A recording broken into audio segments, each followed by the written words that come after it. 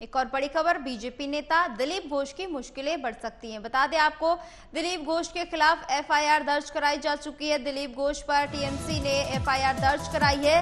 ममता बनर्जी के खिलाफ आपत्तिजनक टिप्पणी का मामला है। बीजेपी ने नोटिस जारी करके स्पष्टीकरण मांगा था, लेकिन अब दिलीप घोष की मुश्किलें बढ़ती हुई नज़र आ रही है। बता दें आपको, दिलीप घोष पर टीएमसी की ओर से एफआईआर दर्ज कराई जा चुकी है। बड़ी खबर इस वक्त ही बता दें आपको।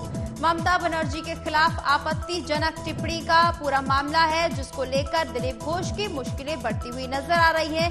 गठबंधन के सभी नेता रैली में शामिल होंगे। इस वक्त की बड़ी खबर बता दें आपको, सामने आ रही है जहाँ पर बीजेपी नेता दिलीप घोष की मुश्किलें बढ़ती हुई नज़र आ रही हैं। टीएमसी की ओर से दिलीप घोष पर एफआईआर दर्ज कराई जा चुकी है।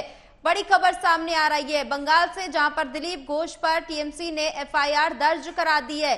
बता दें आपको, पूरा मामला है ममता बनर्जी के खिलाफ आपत्तिजनक टिप्पणी करने का और अब इस पूरे मामले में दिलीप घोष की मुश्किलें बढ़ती हुई नज़र आ रही हैं। पार्टी की ओर से भी दिलीप घोष से स्पष्टीकरण मांगा गया था। ये बड़ी खबर बता दें आपको, बंगाल से सामने आ रही है, जहाँ पर बीजेपी नेता दिलीप घोष की मुश्किलें बढ़ती हुई नज़र आ रही हैं। बता दें आपको, दिलीप घोष के खिलाफ एफआईआर दर्ज की गई है।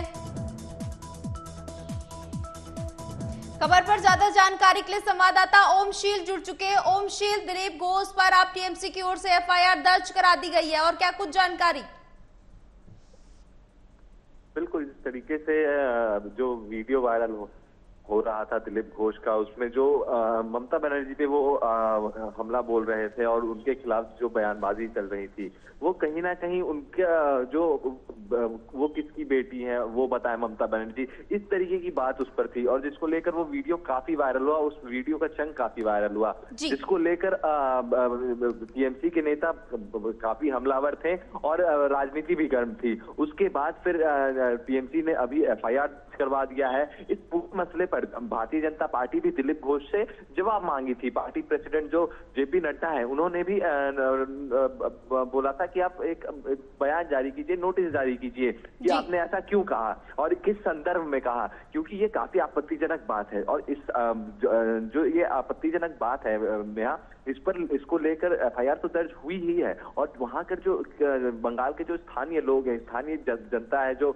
ममता बनर्जी की समर्थन समर्थक हैं वो उनमें भी खासा नाराज़गी है और जिसको लेकर भी बीजेपी भी अभी पार्टी फोरम पे हम बात देखें तो बीजेपी भी अभी बैकफुट पे है। अब देखने वाली बात ये होगी कि एफआईआर तो दर्ज हो चुका है लेकिन पार्टी फोरम पर बीजेपी का क्या फैसला होता है? क्योंकि बीजेपी ने नोटिस तो मांग दिया है कि आप नोटिस जारी कीजिए या आप, आपने किस संदर्भ में बात किया था वो चीज़ बताएँ आप। लेकिन अभी तक दिलीप घोष की तरफ़ से कोई भी जवाब नहीं आया है। अब देखने वाली बात ये ये होगी कि वो क्या जवाब देते हैं और इससे क्या कुछ निकलकर सामने आता है। बहुत बहुत शुक्रिया ओम शील फ़िलहाल आगे भी बने रहिएगा हमारे साथ। आपसे अपडेट लेते रहेंगे खबरों पर।